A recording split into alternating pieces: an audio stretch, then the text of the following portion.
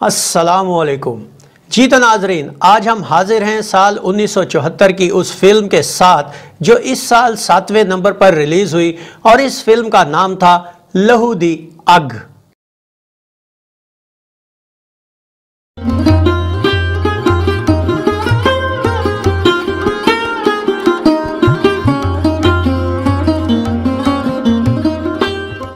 पुखराज production के banner तले तैयार और रिलीज़ होने वाली इस फ़िल्म के सरमायाकार जलील ए न्याजी थे, जिसकी कहानी और मुकालमे सिक्केदार ने लिखे।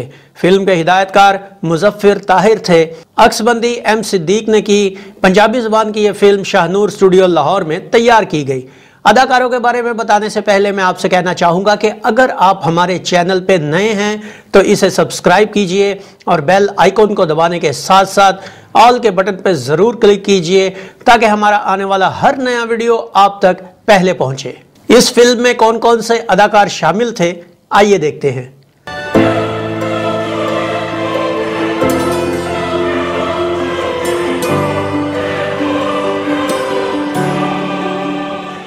फ़िल्म के अहम अदाकारों में हबीब, नगमा, जमुरद, नाजिम, इकबाल हसन, इलियास कश्मीरी तबस्सुम, शम्मी, मुश्ताक खान, सिक्केदार, शकील, नन्हा, ख़याम मुनवर ज़रीफ़, यूसुफ जबरान और सबीहा खानुम शामिल थे।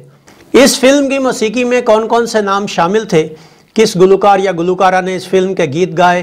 किस शायर ने उन गीतों की शायरी की? और किस मौसीकार ने उसकी धुनें तरतीब दी? आइए देखते हैं।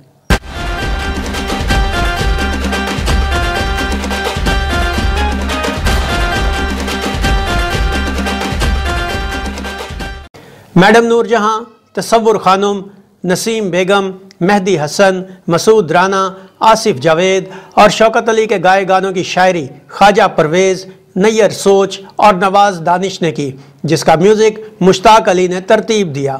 इनमें मैडम नूर जहाँ ने दो तसवुर खानम ने दो, नसीम बेगम ने एक, मेहदी हसन ने एक और मसूद राना ने एक सोलो गीत गाया, जबकि शौकत अली और आसिफ जावेद ने एक, दो गाना गाया। इस फ़िल्म के गाने कौन से थे? किस गुलकार या गुलकारा ने कौन सा गीत गाया? आइए देखें।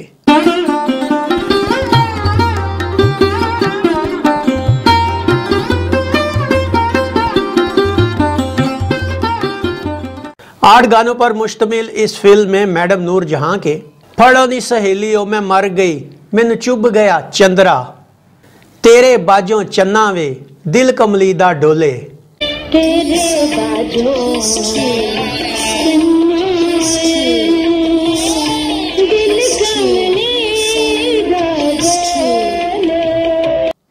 तस्वुर खानुम के निमा निमा हस चना, दिल विच वस चना। पी वे रज रज पी सजना। नसीम बेगम का, केड़े हाथ नाल करा मैं सलाम। मेहदी हसन का, चांदी जिया चन घड़ी मुड़ी एहो तकदा मसूद राणा का, ए दुनिया वाले पुछदे ने, की होया? शौकत अली और आसिफ जावेद का, ए दुनिया पागल खाना है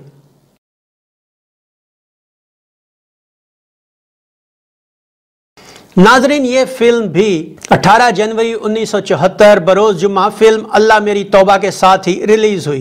कराची में इसे ईरोज, निगार, शालीमार, सोसाइटी, फिरदौस रावलपिंडी के रियाल्टो, गुजरावाला के निगार और सियालकोट के मुगल महल में पेश किया गया। अपने अपने शहरों के सदमाओं की मालूम देने पर हम जनाब कदीर राना मोहतरमा कौसर बुखारी, अब्दुल कलाम और तुफैल शाह साहिब के मशहूर हैं। बावजूद इसके कि इस फ़िल्म की कास्ट बहुत हैवी थी, मगर इसके बावजूद ये फ़िल्म नाजरीन को मुतासर करने में कुल्ली तौर पर नाकाम रही। फ़िल्म के मुख्तलिफ़ नाकदीन के मुताबिक हबीब का फिल्मी कैरियर आखिरी दमों पर था और उनका चार्म तकरीबन ख़त्म हो चुका था। अब ये बात किस हद तक सच है, ये तो आप ही बता सकेंगे, मगर ये बात हकीकत है कि इस फ़िल्म ने कोई दर्जाबंदी हासिल ना की। तो ये था फ़िल्म लहू दी अग का एक मुख्तसर रिव्यू उम्मीद है आपको हमारा ये वीडियो पसंद आया होगा, वीडियो पसंद आया हो तो इसे लाइक कीजिए कमेंट्स बॉक्स में अपनी राय का इजहार कीजिए और इस वीडियो को शेयर कीजिए। इसके साथ गुलफाम को इजाज़त दीजिए। अगले वीडियो में एक नई फ़िल्म के रिव्यू के साथ आपके सामने दोबारा हाजिर होंगे। अपना बहुत सा ख्याल रखिएगा। अल्लाह आपका हामियों नासिर हो। अल्लाह हाफिज़।